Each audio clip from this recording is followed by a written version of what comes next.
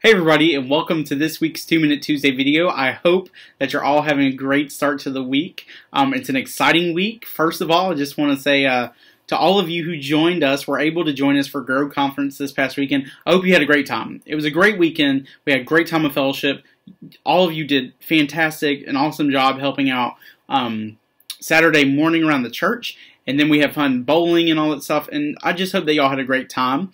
And uh, the fun doesn't stop there; it's going to continue. We have Passion Worship Nights this Thursday, and I'll talk about that in just a minute. But first, I just want to remind all of you that the outlet starts tomorrow night at 6:15 p.m. So excited for our midweek worship gathering. If you are a middle or high school student in the CSRA, you are invited to are invited to join us for this time of worship. It's going to be great. We're going to be continuing and pushing through um, the book of Ephesians. Uh, we're going to be continuing through chapter 3. I'm really excited. It's going to be great. Um, and then, uh, let's see.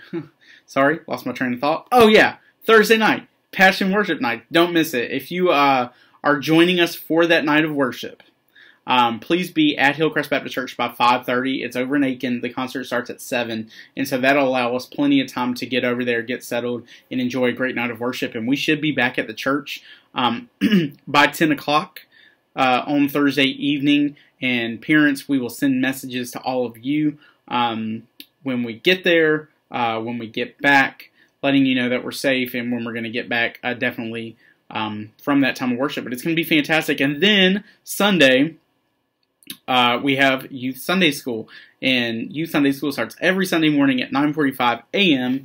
in the Youth Worship Center in the rec room side of it. Uh, this is a great time of fellowship, and it's a great weekly Bible study that we have for all of our youth. And so, all middle and high school students are encouraged to join us for this weekly Bible study. Um, something uh, that I just want y'all to be praying about and considering, and that is Trunk or Treat on Wednesday, October 31st. This is a great outreach opportunity for our church, uh, a great time for our youth and their parents, uh, well, all of you, to uh, to come and just pour out into our community. And so, if you'd like to sign up to bring your car, we have a sign up sheet across from the church office, and we also are accepting candy donations in the church office. Um, but this is really one of the big times of the year where the community actually comes to us. We don't have to do that much except be here, pass out candy, and have a good time. And so I want to encourage all of you to um, help out and join us for our trunk or treat Wednesday, October 31st from 6 to 8 p.m. Well, um, if there's anything that you would like us to be praying for, please let us know. We are praying for all of you. Um, and I hope that you all have a great rest of the week. And I hope to see you all tonight or tomorrow night for the outlet.